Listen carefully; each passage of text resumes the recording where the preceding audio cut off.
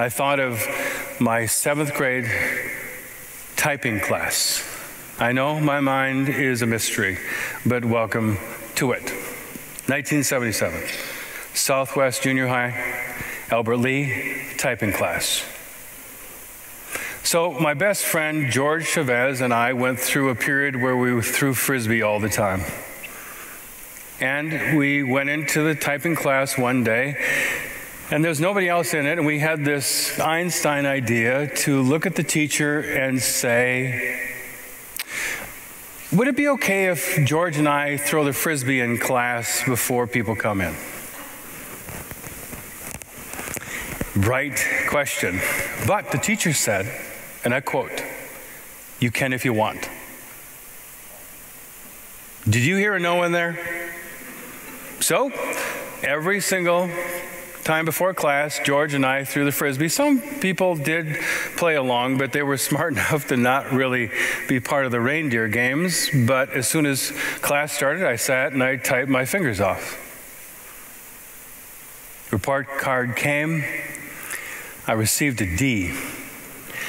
Now, I'm an old person, and we had these little boxes that teachers would put comments in. For example, you could have attentive in class or participates fully in class discussions. I never had those.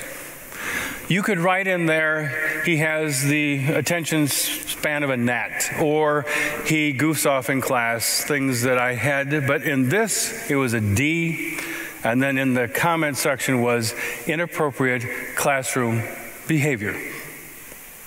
I've told you this before. I had kind of a weird academic career. I barely got into college, and then I aced everything after that.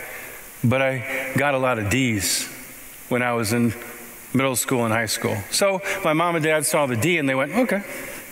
But then my father, who's very strict in actions and discipline, and my mother was then a retired school teacher, they didn't like that because they said academics is one thing, behavior is yet another.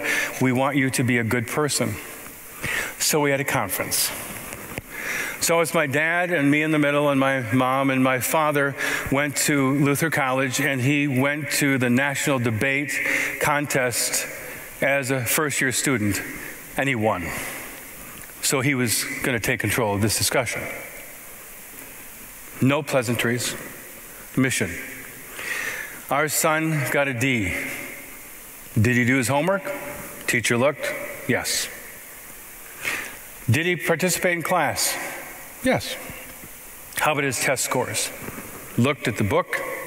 Some B minuses, some C's. My father said, I remember, I'm not really good at math, but uh, that's not a D. Then the teacher said, Well, that might have something to do with the comment section. And then I realized my dad and the teacher were starting.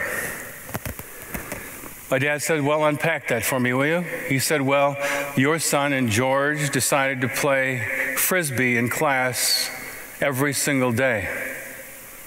And I was sitting there and I was, I, I wanted to raise my hand, but I wanted to tell my father and mother, and I did. And I said, By the way, may I add that we asked the teacher, what did the teacher say? I said, He said, We can if we want. My dad looked at the teacher. This is like a tennis match. And my dad's five foot seven, but intense. And he said, Did you? Teacher said, Yes. My father said, Well, I'm confused. If you said he can if he wants, and he did with his friend, why the comment? The teacher said, and on my mother's honor, he said, I never told him, nor did he ask what would happen